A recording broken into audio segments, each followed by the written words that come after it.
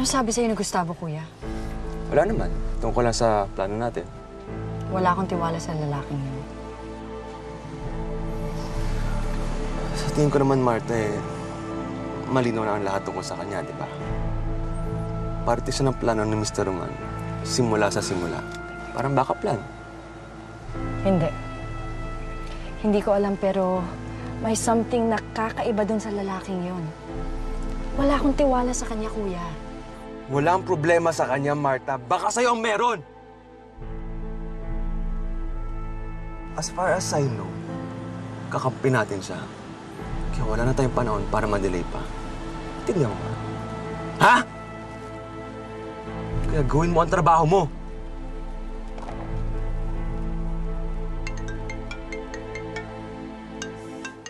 Sagutin mo!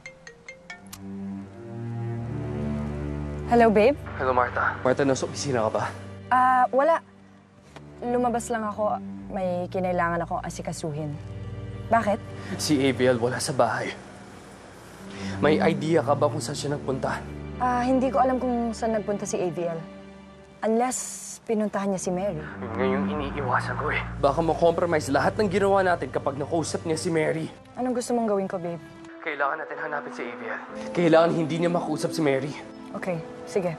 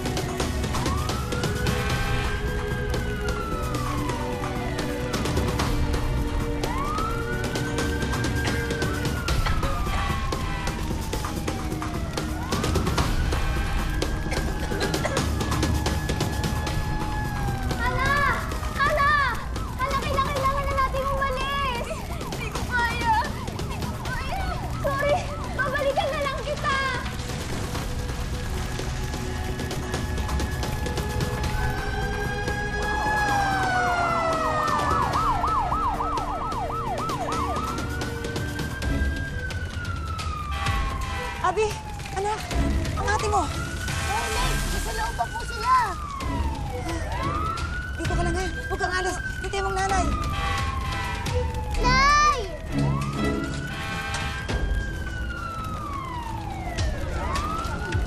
Abi!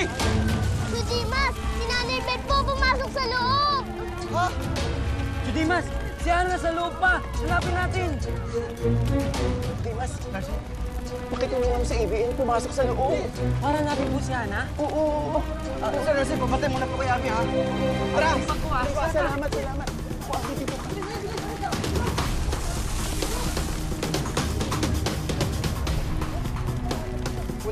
personal. Ah, Abi, dyan ka lang ha. Tatawagan ko lang Sir Paul ha. Excuse me, excuse me.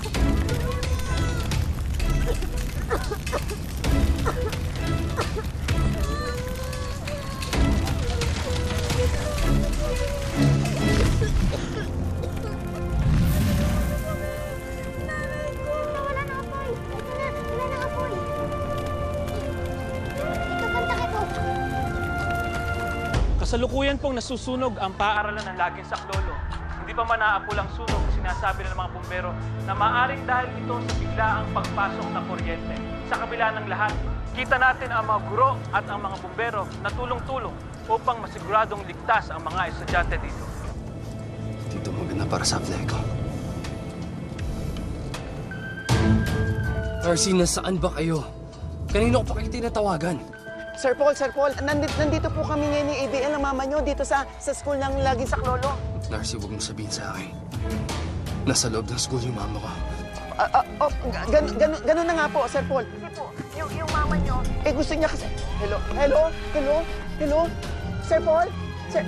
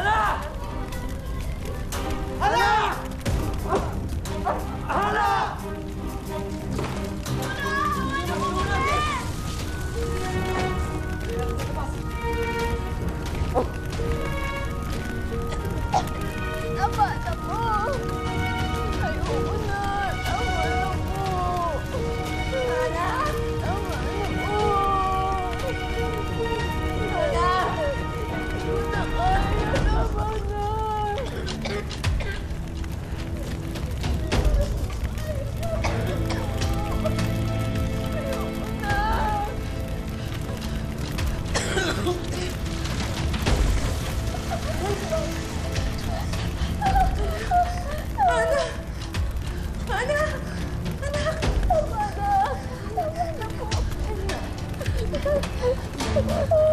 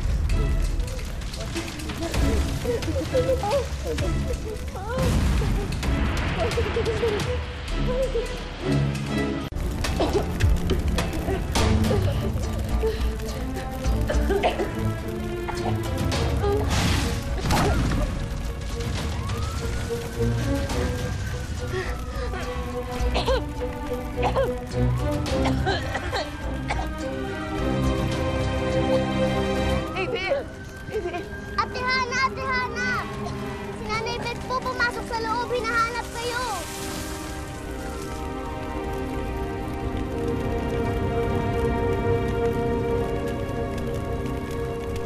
Mercy.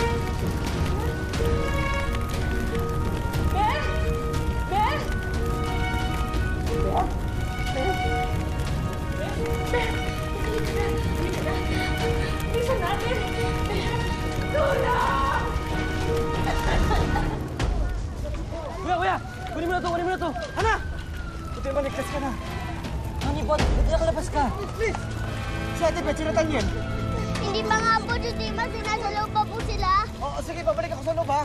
Bumalik din po si ABL para hanapin si nanay. Babalik ako sa loob. Diyan muna kayo, ha? Kasama na po ako sa inyo. Tara, Joshua.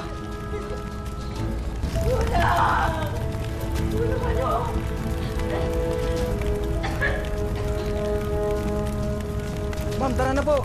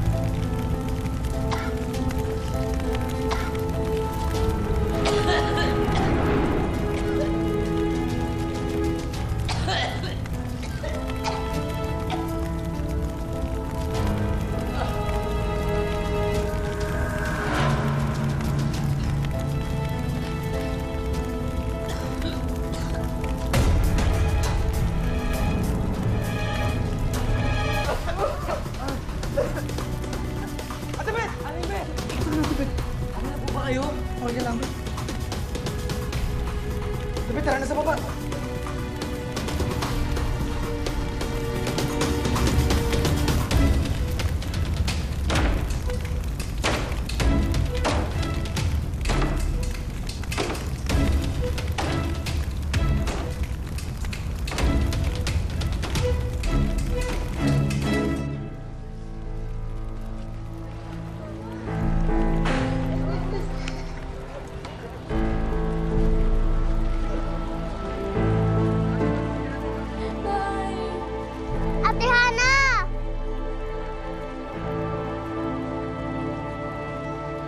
Ma! ABL! Oh, Mama! Ano nangyari kay Adriel? Pumasok siya Ma! dun eh. Ma, gumising ka, Ma! Tulungan niyo kami. Ano pang hinihintay niyo? Tara na! Dali natin sa ospital! Ma! ABL! Ma, ma, gumising ka. Nandito na ako. Ma! Ma!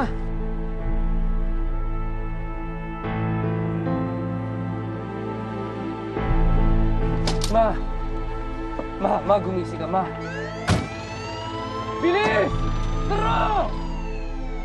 Hana, alam ko naman gusto mo malaman ang kalagayan ni ABL. Sige na, sumunod ka na sa ospital. Paano po si nanay? Mukha namang okay si Ate Beth eh. Sumunod ka na lang sa ospital. Sige po. Ate Hana! Sasamahan ko po kayo. Daniel, mag-ingat kayo ha. Opo, Tio Dimas. Sama na rin ako sa inyo.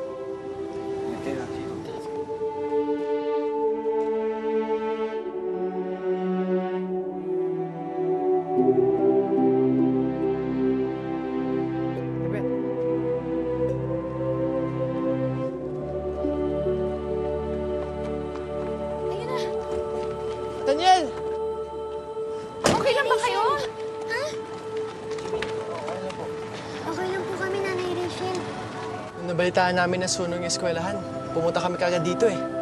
Nag-alala kami sa inyo eh. Sa Abby. Dok, kami okay naman po kami. Pero sila Abby po tsaka si Aling Beth niwan po doon sa school. Tira po kasi nga si Aling Beth eh. Pero si Eviel po. Ano nangyari kay AVL? Nasa ospital po siya ngayon. Tinulungan niya po kung makaligtas tsaka po si nanay pero bigla lang po siyang bumagsak tsaka ho nawala ng malay. Pupuntahan po namin siya. Pupuntahan po namin siya sa ospital. Eh kung ganun, halika na, ihahatid ko na kayo. Sige, sakay na. Salukuyan pong inaapula ng mga fire marshals ang sunog dito sa pampublikong paaralan ng Lagi Saklolo. Ayon sa mga paunang reports, sinasabing nagsimula ang sunog kasabay ng biglaang pagbalik ng kuryente makalipas ang ilang oras na brownout nang dahil na rin sa mga nasirang transmitters ng Ableco. Bilis! Ma! Doc, please! Doc, gawin mong lahat para sa mama ko! Ma, gumising ka na, ma! Bilisan niyo! Doc, please, gawin mong lahat para sa mama ko! Doc, iligtas mo siya! Ma! Paul, tama na. Ma, gumising ka na! Paul, hayaan mo sila gawin ang trabaho nila. She's in good hands. Please, Doc, please! Ma! ABL! Sorry po talaga. Ma! Sige na po, Ma! dyan na po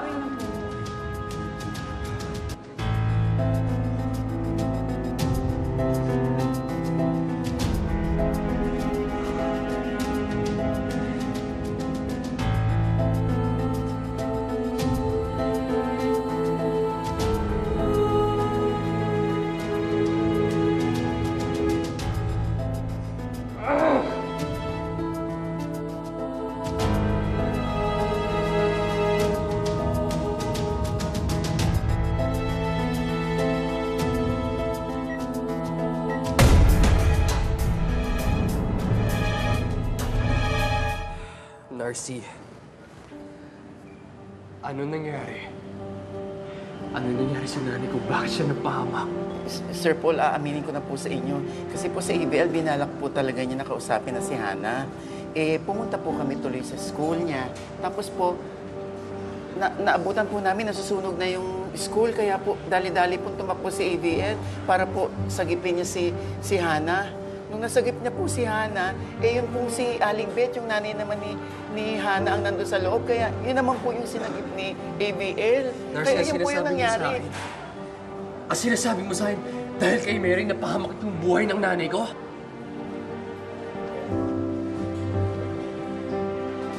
Ah! Calm down. Ha? Ginagawa ng mga doktor ang lahat para maligtas si AVL.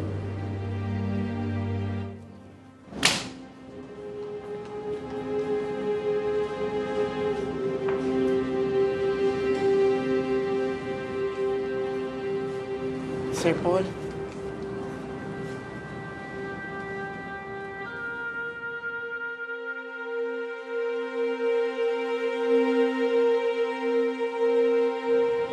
Darcy, paalisin mo na sila. Ngayon na. Ayoko sila makita. Alisin mo na. Sige po, sige.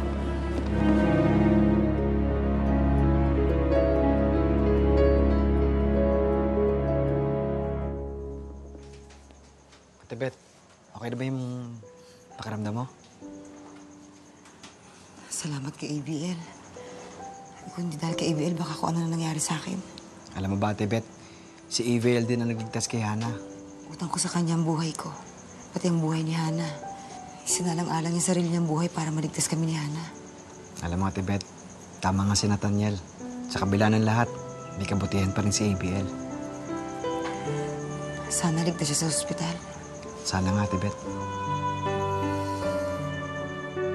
Sir Narcy, kamusta na po si AVL? Ligtas na po ba siya? Pwede ko po ba siyang puntahan? Gusto ko siyang makita eh. Eh, eh, eh, si ABL, nasa ER, eh, hindi, hindi pa rin nagigising.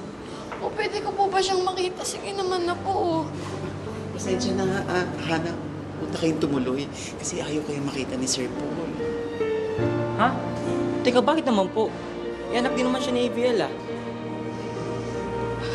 Marcy, naiintindihan namin kung hindi pwedeng makita ngayon si AVL dahil nasa emergency room siya. Pero pakisabi naman kay Paul, hindi niya pwedeng paalisin si Hana. Nag-aalala lang naman si Hana sa nanay niya. Hindi po kami manggugulo kay Sir Paul. Dito lang po kami. Gusto lang po talaga namin malaman na ligtas si AVL. Pinakiusapan na kayo. Bakit ayaw niyo umalis? Ano pang gusto niyo? Paul, ano ba? Be reasonable naman. Concern lang din naman si Hana kay AVL. Rachel, wala kang pakialam dito. Nag-aalala ka. Kung nag-aalala ka talaga para sa nanay natin, sana hindi mo siya iniwan. At kumabi sa dati mong pamilya. Sir Paul, huwag po kayong magalit. Nag-aalala lang po kami para kay AVL. Hindi naman ako nagpunta dito para makipag-away eh. Gusto ko lang po makita ang ligtas yung mama ko. Kasi niligtas na po yung buhay ko, pati yung buhay ng nanay ko eh. Okay nyo nagulo, umalis na kayo.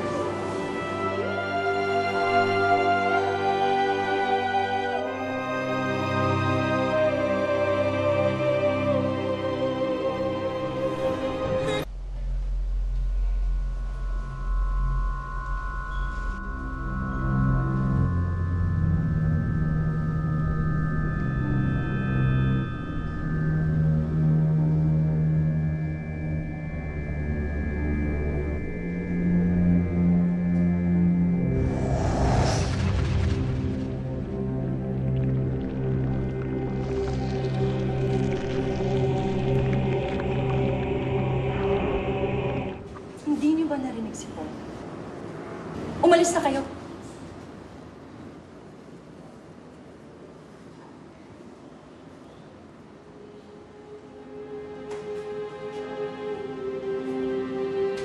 Sir Paul, may nangyari yata kay ABL. Ma! Ma! Ma! Dok, Dok, ano nangyayari sa nanay ko? AVL's body is going to shock. Dok, please, iligtas mo siya. Dok, please. Sir, please, let us do a job, okay?